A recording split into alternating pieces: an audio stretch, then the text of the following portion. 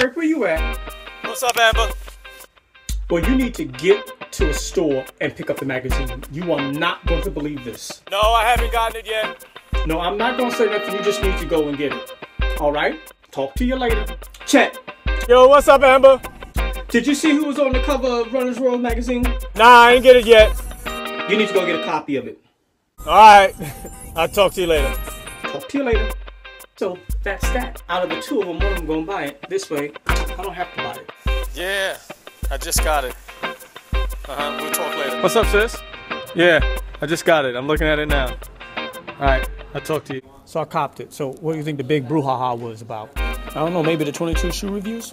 That's all you think about is kicks. Not at all, man. Nah, I don't think so. She's probably talking about the fact that she's black. What does that have to do with it? It's unprecedented. You think it was strategic? Quite possibly. Smooth by design.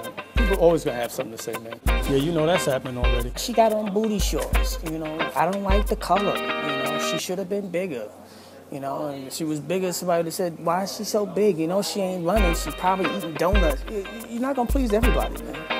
I'm just saying if Biggie would have said the only way he's gonna get out the hood is if he run a full in two hours tops instead of slinging crack rock and having a wicked jump shot, maybe more people have been running. Who knows? I mean, it could have very easily been K Rod or E Boogie on the cover. Did you say E Boogie? K Rod? You don't know who they are? You should ask somebody, man. My point is, it doesn't matter. People always gonna have something to say.